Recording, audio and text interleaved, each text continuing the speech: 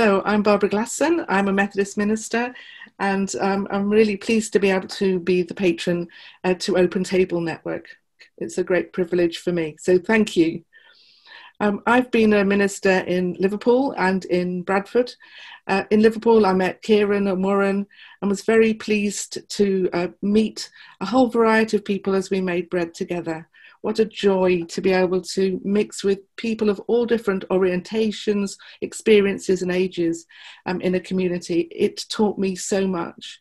And so I want to say thank you to the LGBTQI community for informing my ministry and changing me and my ministry. Most recently, I've been president of the Methodist Church in Britain, and I am been the uh, first president to be locked down and grounded. Uh, so it's been a very interesting year for me. And I'm currently a pastoral tutor at the Queen's Foundation in Birmingham. This is a new role for me. And be assured that I will be teaching pastoral theology in a way that includes all, because everybody's needed to transform the church.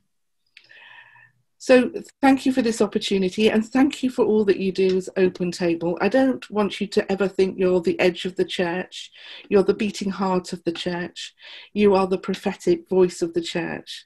And I know that it's often difficult uh, to be different and to feel different and to feel as though you're not included.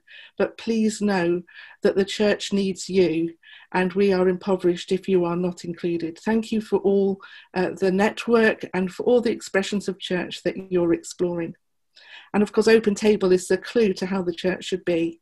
It should be a table that's open for all, that all are welcome, and we find there the hospitality of Jesus, who opens his arms wide for us and wants us all to be loved and included. So thank you, and I look forward to meeting you in person soon.